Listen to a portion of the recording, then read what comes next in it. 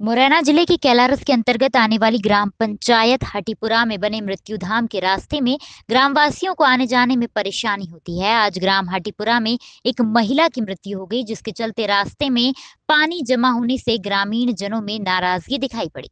मौके पर मोजा पटवारी संजय धाकर ने मीडिया टीम से चर्चा की। तो मौजा पटवारी संजय धाकर ने कहा कि जल्द से जल्द समस्या का निराकरण करेंगे। मौके पर आ चुका हूँ।